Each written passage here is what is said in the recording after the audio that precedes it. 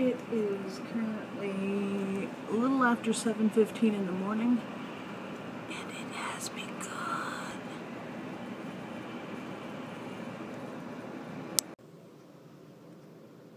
Well, check that out.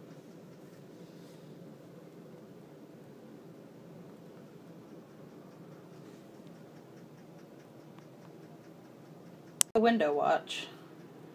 Good grief, that's a lot of snow.